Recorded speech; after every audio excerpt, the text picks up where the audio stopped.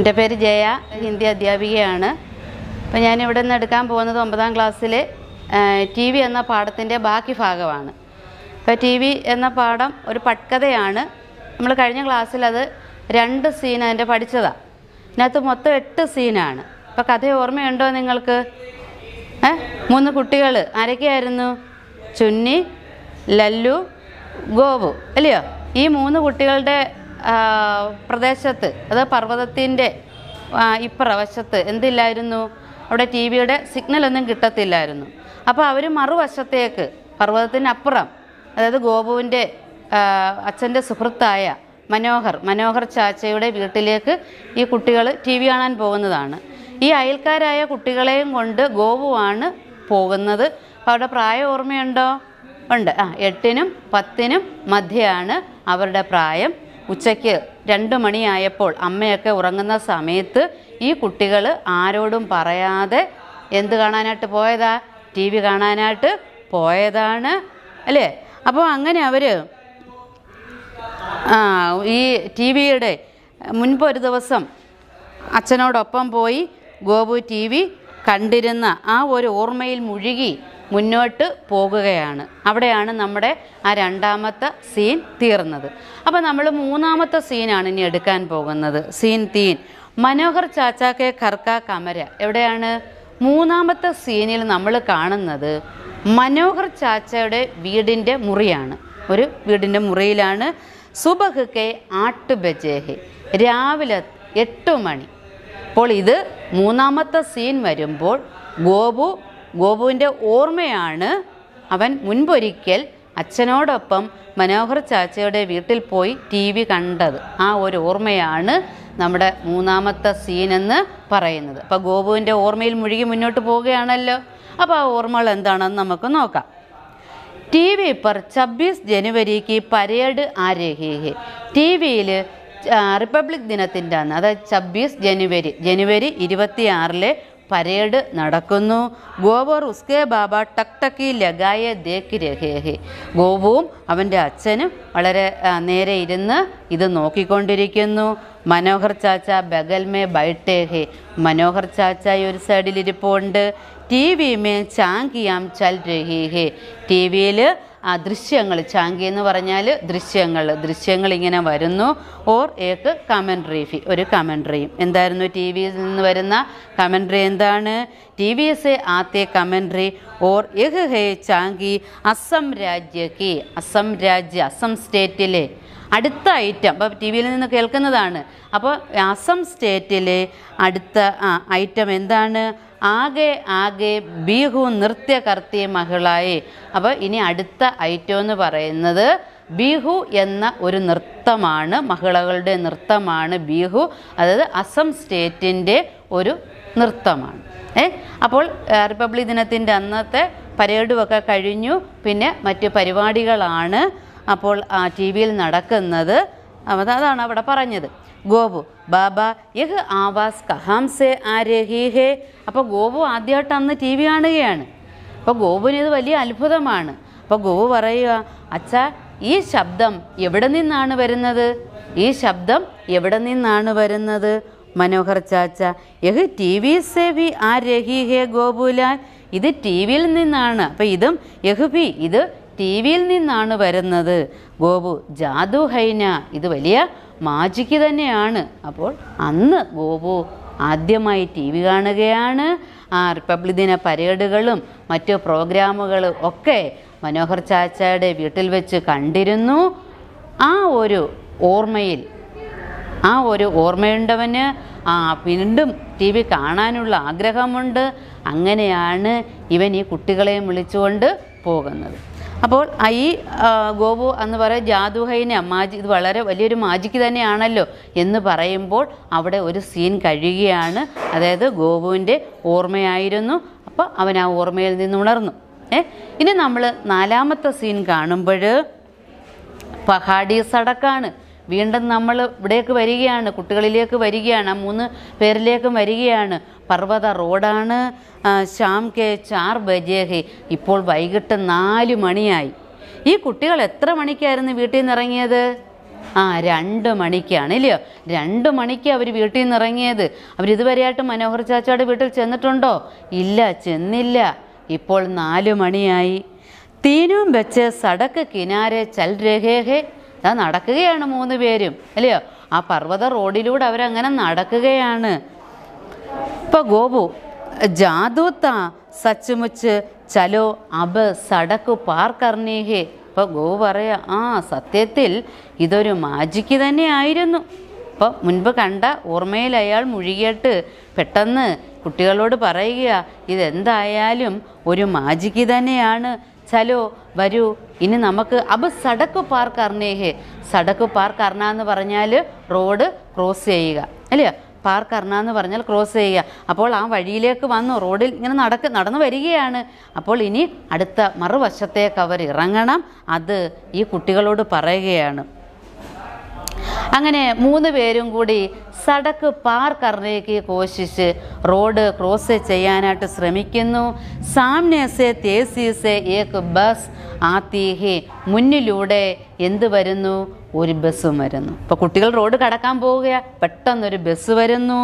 ചുന്നി ദൗഡ്കർ Parker ലേത്തേഹേ ചുന്നിയോ ചുന്നി ഓടി അങ്ങ് അപ്പുറം കടന്നു. ചുന്നി ഓടി ആ അപ്പുറം കടന്നു.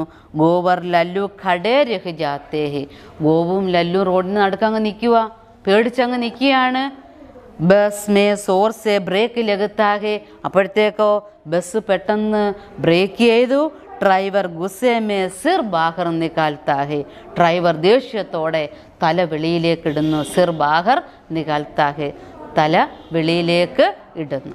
അപ്പോൾ മൂന്ന് പേരും കൂടെ ക്രോസ് ചെയ്തതാണ്. അപ്പോൾ അവിടെ ഒരു ശ്രദ്ധക്കുറവ് അവിടെ ഉണ്ടായി എന്നുള്ളതാണ് നമ്മൾ കണ്ടത്. ഗോപു ഇത്തിരിയിലെ പഴയ കാര്യങ്ങളിലൊന്ന് ഓർത്തുപോയി. അല്ലയോ? ഗോപു ആ മുൻപ് ടി വി കണ്ട ഒരു ഓർമ്മയിലൊക്കെ ഇയാൾ റോഡ് ക്രോസ് ചെയ്യാൻ വന്നത്. ഏ? എന്തായാലും ചുന്നി അപ്പുറം കടന്നു. രണ്ടുപേരും നിന്ന് ഗോപുവും ലല്ലുവും റോഡിൽ തന്നെ നിന്നുപോയി പെട്ടെന്ന് ബസ് ബ്രേക്ക് ചെയ്തു. ഡ്രൈവർ ദേഷ്യത്തോടെ തല പുറത്തേക്കിട്ടു. എന്നിട്ട് പറയോ ഡ്രൈവർ പറയുക അബേ ദേഖേക്കെ ചലോ. ഏ നിങ്ങൾ നോക്കിയൊക്കെ പോ. നോക്കിയൊക്കെ നടക്കാൻ. ഗോവർ ലല്ലു ജൽദി സെ സടക്ക് പാർ കർത്തേഹെ പെട്ടെന്ന് തന്നെ ഗോവും ലല്ലു എന്ത് ചെയ്യുന്നു? ആ റോഡ് ക്രോസ് ചെയ്യുന്നു. ജൽദി എന്ത് ജൽദി? പെട്ടെന്ന് സടക്ക് പാർ കർത്താഹെ കർത്തേഹെ എന്ത് ചെയ്യുന്നു റോഡ് ക്രോസ് ചെയ്യുന്നു.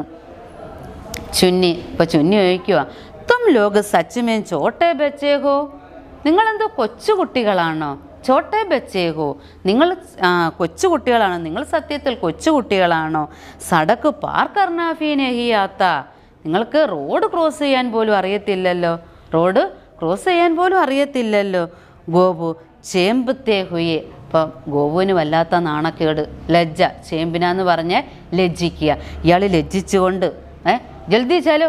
എന്തോ ജൽദി ചാലോ? വേഗം നടക്ക്. അബ ദേർ ഹോ രഹി ഹേ. ഇപ്പോൾ തന്നെ വളരെ ലേറ്റായിരിക്കുന്നു. ഇപ്പോൾ തന്നെ ലേറ്റായിരിക്കുന്നു. പെട്ടെന്ന് നടന്നേ. അപ്പോൾ അവിടെ എന്ത് തീർന്നു? നമ്മുടെ നാലാമത്തെ സീൻ അവിടെ തീർന്നിരിക്കുകയാണ്. അല്ലയോ? ഇപ്പോൾ റോഡ് ക്രോസ് ചെയ്തു. ഇനി അവർ വീണ്ടും വേഗം നടക്കുകയാണ്. അപ്പോൾ വഴി കുറച്ചുണ്ട് അല്ലേ? രണ്ട് മണിക്ക് ഇറങ്ങിയ കുട്ടികളാണ്. ഇത്രേ സമയമായി അവർ മനോഹർ ചാച്ചാടി വീട്ടിൽ ഇതുവരെ എത്തിയിട്ടില്ല. ഇനി സീൻ അഞ്ചാണ്. അഞ്ചാമത്തെ സീൻ നോക്കിക്കേ. കസ്ബേ കി സബ്ജി മണ്ടി ശ്യാം കെ പാഞ്ച് ബജേ ഹേ. ഇതാ നോക്ക് ഇപ്പോൾ അഞ്ച് മണിയായി. അഞ്ച് മണിയായി സബ്ജി കെ സബ്ജി സബ്ജിക്ക് സോറി കസ്ബേക്ക് സബ്ജി മണ്ടി അതായത് ആ ചെറു പട്ടണത്തിലെ ചോട്ടാ ശഹർക്ക് ഒരു സബ്ജി മണ്ടി എന്ന് പറഞ്ഞാൽ ഒരു പച്ചക്കറി ചന്തയാണ്. സമയം അഞ്ച് മണിയായിട്ടുണ്ട്. ലല്ലു സബ്ജി മണ്ടിക്ക് ഫീഡ്മേ തോട പീച്ചേ രഹുകയാകെ അപ്പം നല്ല തിരക്കുള്ള ഒരു ചന്തയാണ്. അപ്പോൾ ഈ തിരക്കിൽപ്പെട്ട് അപ്പോൾ ഗോപു ഒത്തിരി പുറകിലായിപ്പോയി മുന്നേ ആര് പോയി ലല്ലുവും സോറി ലല്ലുവാണ് കുറച്ച് പിറകിലായി പോയത്. ഗോപുവും ചുന്നിയും കൂടെ മുന്നോട്ട് പോയിക്കൊണ്ടിരുന്നു. ഗോവർ ചുന്നി ആകെ ചൽ രഹേ ഹേ ഉണ്ടോ? ഗോവും ചുന്നിയും മുന്നോട്ട് പോയിക്കൊണ്ടിരുന്നു. ചുന്നി ഡരി ഹുയി ഹേ ഇപ്പോൾ നമ്മൾ ചുന്നിയുടെ മുഖത്തേക്ക് നോക്കിക്കഴിഞ്ഞാൽ ചുന്നിക്ക് വല്ലാത്തൊരു ഭയം തോന്നുന്നുണ്ട്. കാരണം രണ്ട് മണിക്ക് ഇറങ്ങിയതാണ് ഇപ്പോൾ അഞ്ച് മണിയായി. ഇതുവരെ മനോഹർ ചാച്ചായുടെ വീട്ടിലെത്തിയിട്ടില്ല. അപ്പോൾ അവർ വീട്ടിൽ നിന്ന് ഇറങ്ങിയത് എങ്ങനെയായിരുന്നു ആരോടെങ്കിലും പറഞ്ഞോ? ഇല്ല ആരോടും പറഞ്ഞിട്ടില്ല. ഇത്രയും വഴി താണ്ടി അവരിവിടെ എത്തിയതേ ഉള്ളൂ. പക്ഷെ ഇതുവരെയും വീട് കന്ന് കണ്ടെത്തിയിട്ടില്ല. ഇപ്പോൾ ദാണ്ട് അവർ ആ പച്ചക്കറി ചന്തയിൽ ആ തിരക്കിലൂടെ അങ്ങനെ നടന്നു പോകുകയാണ്. ചുന്നി തുമ്നെ കഹാത്ത ജൽദി പഹൂഞ്ചേങ്കെ ശ്യാം തക്ക് വാപ്പസ് ആയേങ്കെ. തുമ്നെ കഹാത്ത അപ്പോൾ ചുന്നി ചോദിക്കുകയാണ് നീയല്ലേ പറഞ്ഞത്? ജൽദി പഹുഞ്ചേങ്കെ ഇത് ജൽദി പഹുഞ്ചേങ്കെ. പെട്ടെന്ന് എത്തുമെന്ന് പെട്ടെന്ന് എത്തുമെന്ന് നീയല്ലേ പറഞ്ഞത്? ശ്യാം തക്ക വാപ്പസ് ആയേങ്ക നമുക്ക് വൈകുന്നേരം ആവുമ്പോഴത്തേക്ക് തിരിച്ചു വരാമെന്നും. അപ്പോൾ ഇതും പറഞ്ഞാണ് ഇവൻ ആരെയും വിളിച്ചുകൊണ്ട് വരുന്നത്? ഈ രണ്ട് കുട്ടികളെയും കൊണ്ട് വരുന്നത്? നമുക്ക് വേഗം ഇനി തിരിച്ചു വരാം. കേട്ടോ? എന്നൊക്കെ പറഞ്ഞ് ഇറങ്ങുന്നത്. അതാണിപ്പോൾ ചുന്നി ചോദിച്ചത്. ഗോപു. ബസ് ആനെ വാലാഹെ മനോഹർ ചാച്ചാക്കാക്കാർ. അപ്പോൾ ഗോപു പറയും ദാണ്ടെ ദാ അടുത്തിരിക്കുന്നു. ആരുടെ വീട്? മനോഹർ ചാച്ചായുടെ വീട്. താണ്ട് അടുത്തിരിക്കുന്നു. ചുന്നി ഏക്ക് ലംബെ ആത്മീസേ ടകര ജാത്തി അപ്പോൾ ചുന്നി എന്ത് ചെയ്യുന്നു? വല്ല തിരക്കിൽപ്പെട്ട് ഇവരിങ്ങനെ പെട്ടെന്ന് നടന്ന് പേടിച്ചും ഒക്കെ വരികയാണ്. അപ്പോഴത്തേക്ക് ചുന്നി ഒരു നല്ല മുട്ട നീളമുള്ള ഒരു മനുഷ്യനെ ചെന്നിങ്ങനെ കൂട്ടിയിടിക്കുന്നു. വഹ ആത്മീ ജൽദീമേഹേ ആ മനുഷ്യൻ ഇച്ചിരി ആ ധൃതിയിൽ ഇങ്ങനെ തിടുക്കത്തിൽ ഇങ്ങനെ വരികയായിരുന്നു. സമ്പൽത്തെ ഹുയെ ആകെ ബഡ് ജാത്താകെ പെട്ടെന്ന് അവളെ ആശ്വസിപ്പിച്ചിട്ട് മുന്നോട്ട് പോകുന്നു. അപ്പോൾ ആകെ ബഡ്ന മുന്നോട്ട് പോകുന്നു. ചുന്നി രുവാംസി ഹോക്കർ. അപ്പോൾ നമ്മൾ ചുന്നിയുടെ മുഖം കണ്ടു കഴിഞ്ഞാൽ ഒരു കരയുന്ന മട്ടുണ്ട്. ഇപ്പോൾ കരയുന്ന ഒരു ലക്ഷണത്തിലാണ് ചുന്നിയെ കണ്ടാൽ. അത് അരുവാംസി ഹോന കരയുന്നത് പോലെ. കബസേ കബ് രഹേഹോ ആനേ വാലാഹേ നീ എപ്പോൾ മുതൽ പറയുന്നു വരുന്നു വരുന്നെന്ന്? എന്ത് വരുന്നെന്ന്? ദാണ്ട് അടുത്തിരിക്കുന്നു. ആരുടെ വീട്? ദാണ്ട് ഇനി വരുന്നതാ മനോഹർ ചാച്ചാടെ വീട്? ദാണ്ട് ഇത് ഇനി വരുന്നതാ? എന്നൊക്കെ പറയുന്നുണ്ട് ഇടയ്ക്കിടയ്ക്ക്. അപ്പോൾ നീ എപ്പോൾ മുതൽ പറയുന്നു വരുന്നു എന്ന്? ഗോപു പീച്ചേ മുടുക്കർ. അപ്പോൾ ആ സമയത്ത് ഗോപു ഒന്ന് പിറകോട്ട് നോക്കി. പീച്ചേ മുടിനെ പിറകോട്ട് തിരിഞ്ഞിട്ട് പിറകോട്ട് തിരിഞ്ഞിട്ട് പറയുക അരേ ഏ ലല്ലു കഹാം രഹുകയാ ചേടാ ഈ ലല്ലു എന്തേ? ഈ ലല്ലു എവിടെ പോയി? എന്നിട്ട് ഇനി ചുഞ്ഞോടായിട്ട് പറയുമോ ഓർ തൂരോ മത്തബ്? ഡേ നീ കരയാതിരിക്ക്. ഏ ഇപ്പോൾ നീ കരയാതെ ടി വി ദേക്കിനാഹേന നിനക്ക് ടി വി കാണണ്ടായോ? ഉസ്മേം പതാഹേ അതിൽ നിനക്ക് കാണണ്ടായോ അറിയണ്ടായോ? ലോക് ബോക്സ് കെ അന്തർ ബന്ധു ഹോത്തേ അണ്ടേ നീ ആദ്യമായിട്ടാണ് ടി വി കാണാൻ പോകുന്നത്. ദാ അതിൽ എന്തിരിക്കുന്നു? ഈ ആളുകളൊക്കെ അതിനകത്തുണ്ട്. നിനക്ക് അതൊക്കെ ഒന്ന് കാണണ്ടായോ? അതുപോലെ ചോട്ടെ ചോട്ടെ ദിക്തേ ഹേ അവരെ എങ്ങനെയാണ് കാണുന്നത്? ചെറുതായിട്ടാണ് ചോട്ടെ ചോട്ടെ വളരെ ചെറുതായിട്ടാണ് കാണുന്നത്. തേരെ മകോഡോം കി തരഹ്. എന്തുപോലെ? നിന്റെ ചെറു പ്രാണിയെ പോലെ മക്കോട് അല്ലേ നമ്മളാദ്യം കണ്ടതാണ് ചെറുപ്രാണിയെ ചെറുപ്രാണിയെ ചെറു പ്രാണിയെ പോലെ ലല്ലു ആ അപ്പോൾ ഇതെല്ലാം പറഞ്ഞ് ആരെ ആശ്വസിപ്പിക്കുന്നു? ചുന്നി ആശ്വസിപ്പിക്കുകയാണ്. അപ്പം നിനക്ക് ടി വി കാണണ്ടായോ? ടി വിയിലുള്ള ആളുകളെ കാണണ്ടായോ? അല്ലേ? നിന്റെ ചെറു പ്രാണിയെ പോലെയൊക്കെ അവരെ കാണുന്നത്. അപ്പോൾ അതൊക്കെ നിനക്കൊന്ന് കാണണ്ടായോ? അങ്ങനെ അവളെ ആശ്വസിപ്പിച്ചുകൊണ്ട് വരുമ്പോൾ ആരെ കാണുന്നു? ലല്ലു ദിക്താഹെ ലല്ലുവിനെ കാണുന്നു. തു ഏ ലല്ലു ജൽദി ആന. അപ്പോൾ ഗോവു പറയുകയാണ് ലല്ലു നീ വേഗം ഇങ്ങി വാ. നീ പെട്ടെന്ന് വാ. അങ്ങനെ മൂന്ന് പേരും കൂടെ ലല്ലു ദൗത്താഹുവ ആത്താഹെ. ഇപ്പോൾ നമ്മൾ കാണുന്നത് ലല്ലു ഓടി അവരുടെ അടുക്കലേക്ക് വരുന്നു. ലല്ലു ഓടി അവരുടെ അടുക്കലേക്ക് വരുന്നു. തീനും ഹാത്ത് പക്കെടുക്ക ചലനയിലേക്ക് തേഹെ മൂന്ന് പേരും എന്ത് ചെയ്യുന്നു? കൈ പിടിച്ച് നടക്കാൻ തുടങ്ങുന്നു. അല്ലയോ? മൂന്ന് പേരും കൂടെ കൈയും പിടിച്ച് നടക്കാൻ തുടങ്ങുന്നു. അപ്പോൾ അങ്ങനെ നമ്മുടെ അഞ്ചാമത്തെ സീനാണ് ഇവിടെ കഴിഞ്ഞത് അല്ലേ? അപ്പം നമ്മൾ എത്ര എണ്ണം പറഞ്ഞ്? മൂന്നാമത്തെ സീന് അല്ലേ? മൂന്നാമത്തെ സീനിൽ ഗോപുവിന്റെ എന്താണ് ആ ഓർമ്മയിലുള്ള അല്ലേ? മുൻപ് അവൻ ടി വി കണ്ട ആ ഓർമ്മയായിരുന്നു. നാലാമത്തെ സീനിൽ അവർ വീണ്ടും റോഡിലൂടെ നടക്കുകയും റോഡ് ക്രോസ് ചെയ്യാൻ പോകുകയും ക്രോസ് ചെയ്യുന്ന സമയത്ത് ഒരു ബസ് പെട്ടെന്ന് വരികയും ചുന്നി അപ്പുറം കടക്കുകയും ഇവർ രണ്ടുപേരും റോഡിന്റെ മധ്യത്താകുകയും ബസ് പെട്ടെന്ന് ബ്രേക്ക് ചെയ്ത് നിർത്തുകയും ഡ്രൈവർ വഴക്ക് പറയുകയൊക്കെ ചെയ്യുന്നതാണ് നമ്മൾ മൂന്നാമത്തെ ഏതാണ് നാലാമത്തെ സീനിൽ കണ്ടത്. അഞ്ചാമത്തെ സീനിൽ പച്ചക്കറി ചന്തയും അവിടുത്തെ തിരക്കും ഒക്കെയാണ് കണ്ടത്. അപ്പോൾ ഇപ്പോൾ അങ്ങനെ അഞ്ചാമത്തെ സീൻ തീരുമ്പോൾ ഈ മൂന്ന് കുട്ടികളും കൂടെ കൈ പിടിച്ച് മുന്നോട്ട് പോകുന്നു. അല്ലേ? മനസ്സിലായോ എല്ലാവർക്കും? ഇനി നമുക്ക് നോക്കാം. ആറാമത്തെ സീൻ എന്താണെന്ന് നോക്കിക്കേ. കസ്ബേ കി ഗലി ശ്യാം കാ സമയ്. വീണ്ടും ആ പട്ടണത്തിന്റെ ഒരു തെരുവ് ഗലി തെരുവ് ശ്യാം കാ സമയം. സമയം എത്രയാണ് ആ വൈകുന്നേരമായി. ബച്ചെ ഏക്ക് ഗലിക്ക് മോഡ് പർഹെ.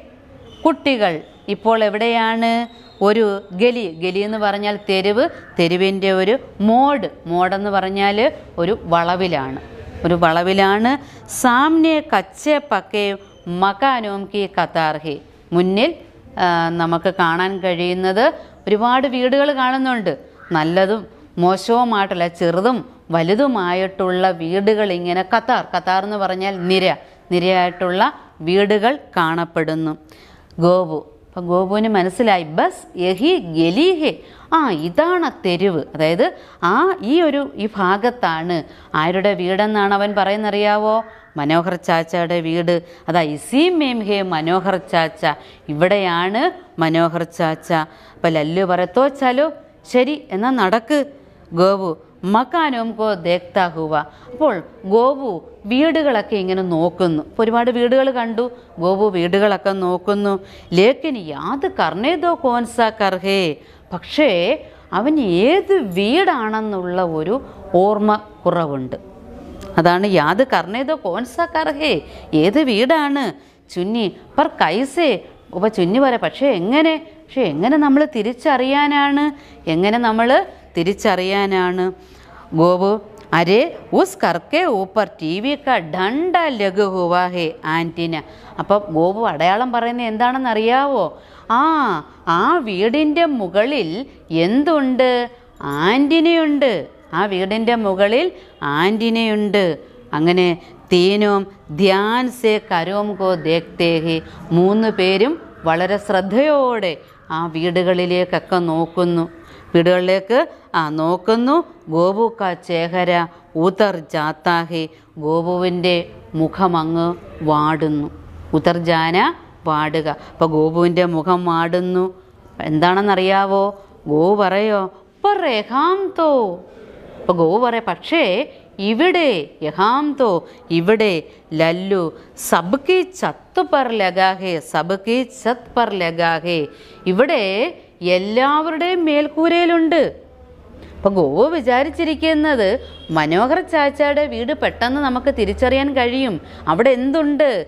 ആ ആന്റിനിയുണ്ട് പക്ഷേ കുട്ടികൾ നോക്കിയപ്പോൾ ഇവിടെ എല്ലാ വീടിന്റെ മുകളിൽ എന്തുണ്ട്? ആന്റിനിയുണ്ട് ചുന്നി ടി വി വാല ഡണ്ട അബിക്ക് ആ കരയെങ്കിൽ ദാണ്ട എല്ലാ വീടിന്റെയും മുകളിൽ ആന്റിനി ഉണ്ടെന്ന് ചുന്നി പറയുന്നു. ഇനി നമ്മൾ എന്ത് ചെയ്യും? അബിക്ക് ആ കരയെങ്കിൽ ഇനി നമ്മൾ എന്ത് ചെയ്യും? ഗോപു ഹിമ്മത്ത് ഹാർത്തേ ഹുയെ. അപ്പോഴത്തേക്ക് ഗോപുവിന്റെ ധൈര്യം അങ്ങ് പോയി.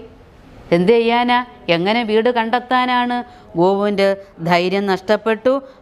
അവൻ പറയോ പതാനഹി പതാനഹി എന്താ? അറിയില്ല. മനോഹർ ചാച്ചാനെ ബതായാത്ത ഉസ്കെ കർഹി ടി വി ഉൻകെ കർഹെ ടി വി ഹേ. അപ്പം മനോഹർ ചാച്ച പറഞ്ഞത് എന്താണ്? അദ്ദേഹത്തിന്റെ വീട്ടിൽ എന്തുണ്ട്? ടി വി ഉണ്ട്. ഇത് മാത്രമേ അവൻ അറിയാവുള്ളൂ. മറ്റ് വീടുകളിൽ ടി വി ഉള്ളതോ അല്ലെങ്കിൽ ആന്റിനി ഉള്ളതോ ഒന്നും അവന് അറിയില്ല.